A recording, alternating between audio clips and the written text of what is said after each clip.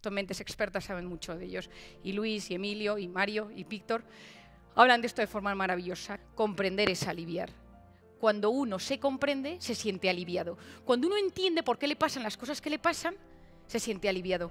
Cuando uno comprende por qué le pasan las cosas que les pasan a los de su entorno, siente alivio y juzga menos. Aquí viene la clave de todo y de lo que llevo hablando varios años y que supongo que muchísimos lo entenderéis y lo conoceréis.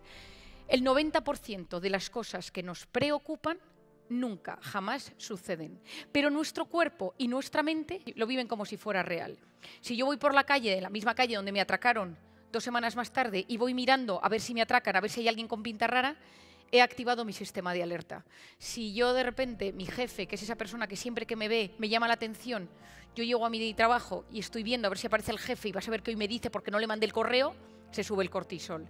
Es decir, mi mente y mi cuerpo no distinguen una amenaza real de una imaginaria. Ante algo físico real que me sucede, me contagio de COVID, estoy solo en casa, me confino, tenía un plan estupendo, no voy a ver a nadie, o y se doy positivo. Estuve estado en contacto con esta persona, esta persona era positivo y tal, y se dio, se vio, nos abrazamos, no había mascarilla, había menos de un metro y medio. Y de repente toda esa película que me he hecho en mi cabeza me intoxico de cortisol. Y esto es clave, porque hemos vivido en pandemia un experimento psicológico brutal de intoxicación de cortisol. Cuando yo vivo constantemente preocupada por algo real o imaginario, me intoxico de cortisol. Soy Marian Rojas Estape y esto es Mentes Expertas.